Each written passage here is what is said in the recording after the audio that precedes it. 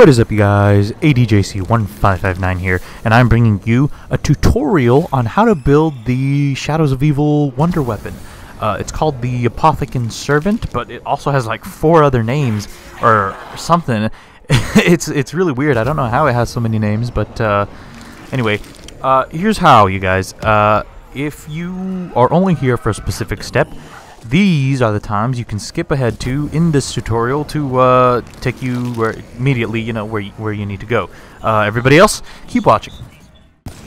Now, there are three items you're going to need to be able to build this uh, Apothicon Servant. Uh, the first is a Margwa heart, which you obtain by killing your very first Margwa.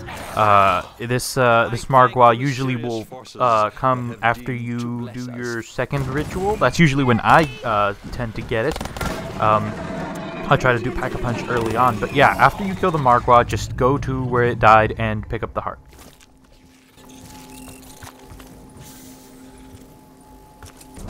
The second piece you need to uh, craft this uh, Servant comes from something called Xenomatter, which is you which is only obtained by killing a either a parasite or a zombie rat.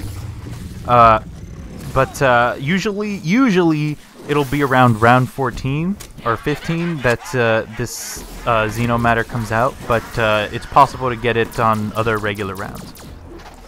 Now, the final piece you need for the Apothicon Servant, uh, you get from these purple pods. Now, the, these pods, uh, they start off as green, really small, and then they go to red, they get bigger, and then they go to purple, they get the biggest. And uh, you need to open one of them up when they are purple. Uh, you can only open them up if you are holding a fumigator, which you, you know, they're, they're all over the map, you guys. You can find them. They're not that hard to find. But, uh, yeah, that's how you get this Margwa tentacle.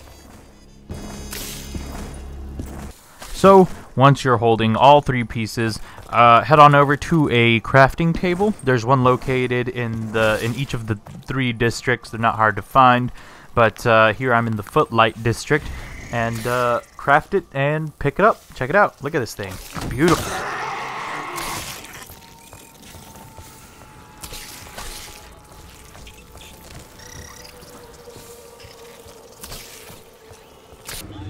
Now, this Wonder Weapon is very, very strong. It's very, very powerful. It uh, basically shoots like Gersches.